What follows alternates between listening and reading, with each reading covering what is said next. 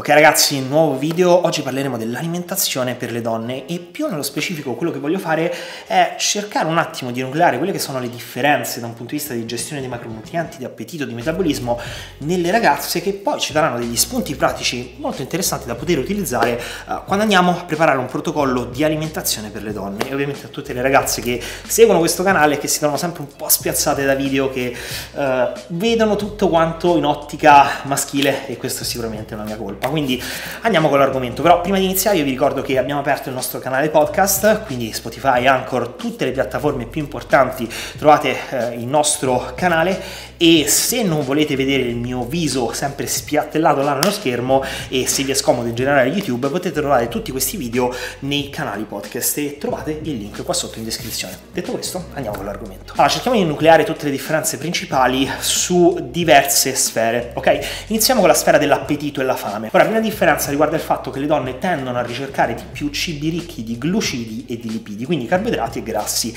e rispetto agli uomini hanno una minor predilezione per i cibi proteici, ok? Quindi logicamente nel momento in cui andiamo a lasciare un po' più a briglia sciolta le ragazze, dobbiamo tener conto che si orienteranno di più verso questi cibi e vedremo poi che non è esattamente l'ideale nel caso in cui affrontino dei pasti misti. Seconda differenza importante è il fatto che le donne da un punto di vista proprio eh, cerebrale, neurologico, sono più sensibili alle variazioni di leptina rispetto alle variazioni di insulina, a cui noi maschietti siamo più sensibili. Che differenza c'è? Che eh, sappiamo che questi due ormoni si regolano in seguito a un pasto, ma mentre l'insulina viene regolata più nel breve periodo, la leptina viene regolata nel medio-lungo periodo. Quindi questo molto banalmente porta a una conclusione che le donne dopo un pasto che non sia particolarmente abbondante tendono ad avere fame, quindi tendono ad avere un po' più fame e si appagano dopo, mentre gli uomini nel momento in cui mangiano hanno subito una regolazione di insulina, la sentono, aumenta la glicemia nel sangue, aumenta l'insulina e quindi automaticamente si sentono subito appagati. Ora molto più importante la variazione di appetito in funzione delle variazioni ormonali. Le donne tendono ad avere più fame quando gli estrogeni si abbassano e il progesterone si alza, quindi normalmente in fase luteinica, nel preciclo, e questo è abbastanza comune e conosciuto anche da noi uomini. Il discorso l'abbiamo già fatto quando parlavamo di donne e ormoni, da una parte il progesterone tende a stimolare il senso di fame e dall'altra parte gli estrogeni tendono ad inibirlo, quindi logicamente in fase luteinica quando vediamo che gli estrogeni si abbassano mentre il progesterone si alza, allora conseguentemente le donne hanno fame. E questo è perfettamente normale perché è in questa fase che la donna si prepara ad un'eventuale gravidanza, quindi logicamente eh, da un punto di vista proprio evoluzionistico va a ricercare più cibo e tenderà a ricercare di immagazzinare più scorte adipose possibili, che dal nostro punto di vista di composizione corporea non è esattamente l'ideale. Ora va detto però che rispetto agli uomini, questo è molto molto importante, eh, le donne tendono ad avere una minor produzione di testosterone e generalmente tendono ad aver meno fame, quindi possono essere più golose, possono essere meno regolari nella fase preciclo in cui dal punto di vista ormonale sono più incentivate a mangiare tanto, quindi perdono un po' il controllo, però generalmente tenderanno a mangiare meno e questo è un primo fattore importante che riprenderemo tra un attimo. Ora, seconda sfera d'analisi, molto molto breve, la spesa energetica. Ora, per quanto riguarda la spesa energetica, le donne logicamente hanno una spesa inferiore e questo banalmente dipende dal fatto che pesano meno, hanno una minor superficie corporea e minori masse muscolari rispetto agli uomini. Quindi banalmente tutti questi fattori influiscono sul metabolismo basale che per le ragazze è più basso ma anche sul dispendio energetico durante l'attività fisica, che anche in questo caso sarà più basso. Quindi abbiamo visto che le ragazze tendono generalmente a mangiare meno e tendono ad avere una spesa energetica minore e questo ci porta a una prima importante conclusione che è tutto fuorché banale. Le ragazze devono avere dei drop calorici, quindi delle diminuzioni di calorie durante una fase di dimagrimento più piccole rispetto agli uomini, semplicemente perché se per un ragazzo che parte da una base calorica di 3000 calorie andiamo a scendere di 500 calorie è un conto, ma se per una ragazza che magari parte da una base di 2200-2500 calorie andiamo a scendere di 500 calorie, ecco che in percentuale la diminuzione che andiamo a dare è molto più forte avrà un impatto molto più importante sulle ragazze, andando poi in un certo senso a destabilizzarle. Quindi, da questo punto di vista, ragionando in percentuali, quando ci approcciamo a una fase di dimagrimento, nel caso delle ragazze, andiamo ad attuare dei drop calorici molto più piccoli rispetto a quando ragioniamo su un uomo. Ora arriviamo alla terza sfera, che è la più importante ed interessante eh, per quanto riguarda l'approccio pratico alle ragazze, ossia quello che è la gestione e l'utilizzo dei macronutrienti a scopo energetico, quindi principalmente esclusivamente grassi e carboidrati. Piccola parentesi riguardo alle proteine, le donne, ancor meno degli uomini, perché si parla comunque di poco, tendono ad utilizzare le proteine a scopo energetico, quindi se nell'uomo già l'utilizzo di proteine a scopo energetico avviene soltanto in casi abbastanza eh, particolari, quindi bassa percentuale di massa grassa, basso input energetico, alto deficit calorico, ecco sulle donne questo avviene ancora più raramente. Ok, quindi piccola parentesi riguardo alle proteine che potrebbe portare alla considerazione il fatto che in termini di eh, grammi per chilo di peso corporeo le donne possono tenersi anche in fase di deficit energetico a meno proteine rispetto all'uomo. Quindi se nell'uomo dobbiamo comunque cercare di stare sopra i 2-2,5 grammi per chilo di peso corporeo di proteine durante una fase di deficit calorico, ecco per le ragazze possiamo stare anche intorno ai 2, in alcuni casi anche un grammo e mezzo per chilo di peso corporeo. Passiamo quindi a parlare di grassi e carboidrati. Più nello specifico quello che voglio fare è cercare di identificare l'utilizzo di questi substrati eh, in funzione dei pasti del riposo, quindi uno stato generale di digiuno e dell'attività fisica e questo è super super interessante perché vedremo che ci sono delle differenze molto importanti. Allora iniziamo dal pasto. Che cosa succede sull'utilizzo dei substrati energetici durante un pasto, più nello specifico un pasto misto, ok? Quindi carboidrati, grassi e proteine. Ecco, noi sappiamo, ne abbiamo già parlato più volte nel corso dei nostri video in questo canale, che generalmente in un pasto misto che cosa succede? Che c'è un rialzo dell'insulina e quindi generalmente il corpo si orienterà sull'utilizzo l'utilizzo dei carboidrati a discapito dei grassi, quindi tutti i grassi che girano nel torrente ematico il corpo tenderà ad utilizzarli eh, immagazzinandoli nel tessuto adiposo. Ok, quindi quando ci facciamo una bella pasta al sugo, eh, tanti carboidrati della pasta, ma un sugo anche abbastanza grasso,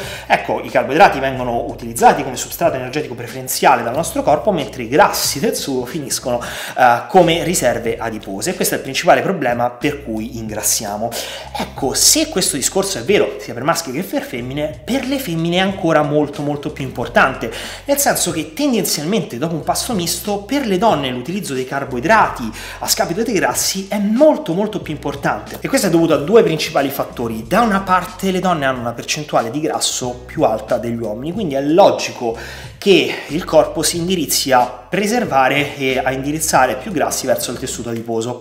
In secondo luogo, le donne sono più sensibili all'azione di antimobilitazione del grasso da parte dell'insulina, quindi sostanzialmente l'insulina dà un segnale al corpo di lasciare le riserve adipose eh, là, ferme, fisse, perché ci sono dei carboidrati che possono essere utilizzati come substrato energetico e che per il nostro corpo sono banalmente molto più semplici da utilizzare. Ora quindi durante un pasto misto si assiste a questo e più nello specifico questi grassi vengono immagazzinati nell'upper body e questo è particolare perché la prima cosa che ci verrebbe in mente è che questi grassi finiscono nel lower body, dove tipicamente le donne hanno una percentuale di grasso maggiore dell'uomo. Però cerchiamo di spiegare che cosa succede dopo, e questo è veramente, veramente interessante. Allora, sostanzialmente, dopo che abbiamo finito un pasto, dopo un pochetto, eh, ci possiamo considerare a digiuno, ok? Quindi, banalmente, magari ceniamo, e il giorno dopo, la mattina, quando ci svegliamo, siamo a digiuno. Ecco, durante una fase di digiuno, rispetto all'uomo, la donna ha un maggior rilascio di acidi grassi liberi nel sangue, quindi vuol dire che questi grassi grassi che vengono immagazzinati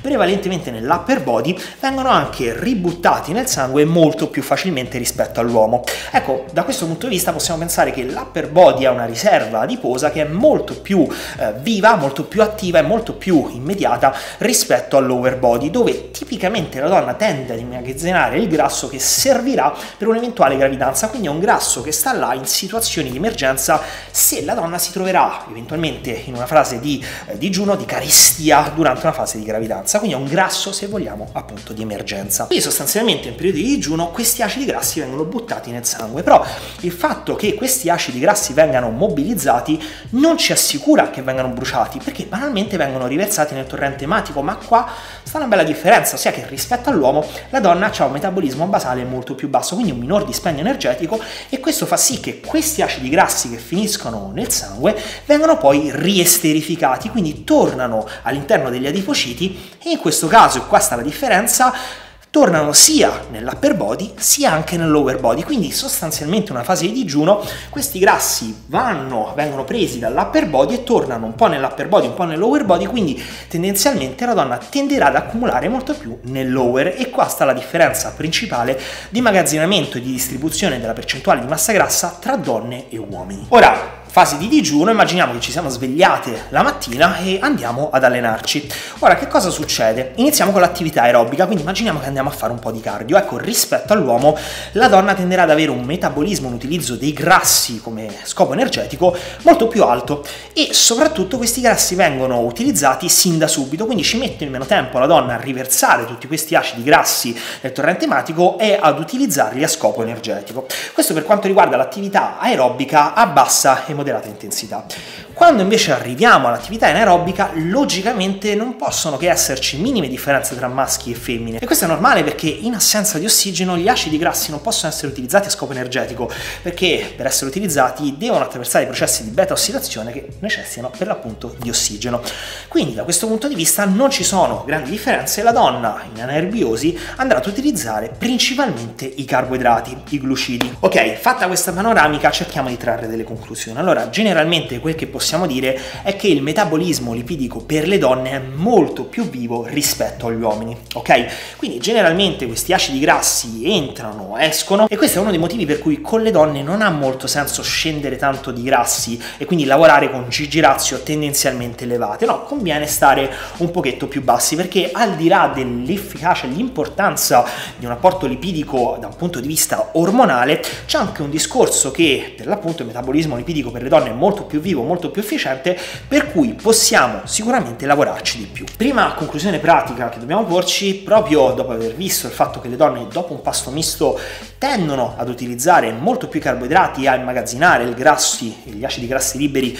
come tessuto adiposo, è il fatto che con le donne dobbiamo lavorare il più possibile sul timing nutrizionale una dissociazione delle fonti, quindi generalmente cercare di concentrare i carboidrati a ridosso dell'attività anaerobica e i grassi e le proteine in altri momenti della giornata. Una seconda conclusione pratica invece è che per il fatto che in periodi di digiuno le donne tendono a buttare tanti acidi grassi liberi nel sangue e poi riesterificarli, allora ha molto senso lavorare con NEAT un pochetto più alti o inserire dell'attività aerobica in un altro momento della giornata. Quindi in soldoni magari la mattina faccio attività con i pesi, attività anaerobica e concentro il grosso del quantitativo glucidico della giornata, mentre nel pomeriggio cerco di camminare molto, cerco di aumentare il NEAT e se non posso inserisco del cardio LIS a bassa intensità, in questo modo nel momento in cui vado a immettere tanti acidi grassi liberi nel sangue, questi vengono immediatamente utilizzati ed evito questa sproporzione, questo riaccumulo di acidi grassi di tessuto adiposo nel lower body. Ovviamente una piccola parentesi, se questo non fosse possibile